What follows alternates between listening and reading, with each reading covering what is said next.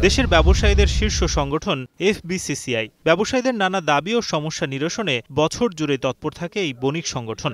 তাই এর শীর্ষ নেতৃত্ব নিয়েও প্রতি দু বছর পরপরই চলে নানা হিসাব নিকেশ। বরাবরের মতো এবারেও নির্বাচনে অংশ নেয় সম্মিলিত ব্যবসায়ী পরিষদ ও ব্যবসায়ী ঐক্য পরিষদ। দুই হাজার তেইশ থেকে পঁচিশ মেয়াদে ভোটে সংখ্যাগরিষ্ঠতা পায় সম্মিলিত ব্যবসায়ী পরিষদ। এরপর অপেক্ষা চলছিল নতুন মেয়াদে দেশের শীর্ষ সংগঠন এফবিসিসিআই সভাপতি নির্বাচনে। অবশেষে বুধবার বিকেলে এলো কাঙ্ক্ষিত ঘোষণা।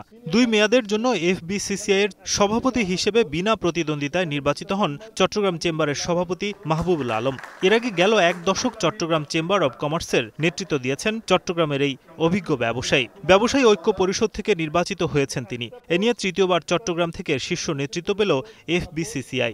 Mister Mahbubul Alam, voter number seventy two সত্তর দশকে চট্টগ্রাম চেম্বার সভাপতি থেকে প্রথমবার এফবিসিসিআই সভাপতি হয়েছিলেন এ এম জহির উদ্দিন খান।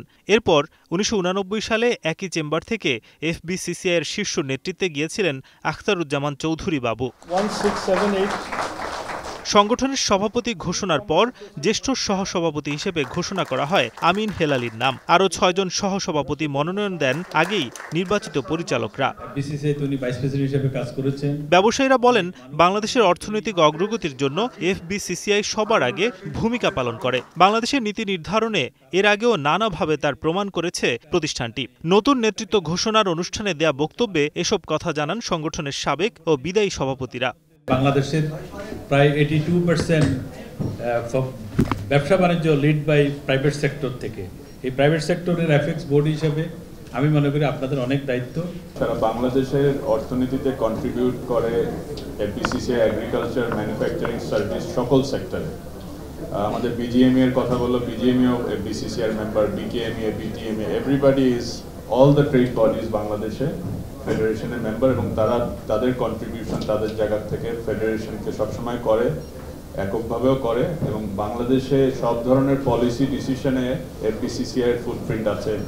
সব পরিচালকদের শুধু ব্যবসার কথা চিন্তা না করে দেশ ও জাতির জন্য কাজ করার আহ্বান করেন নতুন সভাপতি। বলেন ব্যবসার চোখে না দেখে সভাপতির চেয়ারটিকে সম্মানের জায়গা থেকে দেখবেন তিনি। আমরা ব্যবসায়ী আমাদের দিন শেষে আমাদের একটাই পরিচয় ইউর বিজনেসটা। আমার যে প্রবলেম আমরা এখানে এসেছি একটা কমিটমেন্ট নিয়ে। কী করব আমরা? বিজনেসম্যানদের প্রবলেমটা সলভ করব। সেক্টরের প্রবলেমটা সলভ করব। পলিসি দেব। আমরা এই কমিটমেন্ট নিয়ে এসেছি এখানে এফবিসি তারা যে কোনো অর্গানাইজেশনে বিশেষ করে ট্রেড বডিগুলিতে দেওয়ার আছে, নেওয়ার কিছু নেই এখানে। গেল সোমবার এফবিসিসিআই নির্বাচনে অ্যাসোসিয়েশন গ্রুপের তেইশটি পরিচালক পদের মধ্যে সম্মিলিত ব্যবসায়ী পরিষদের পনেরো জন ও ব্যবসায়ী ঐক্য পরিষদের আটজন পরিচালক পদে নির্বাচিত হয়েছেন। নাজবুস সাকিব এখন ঢাকা।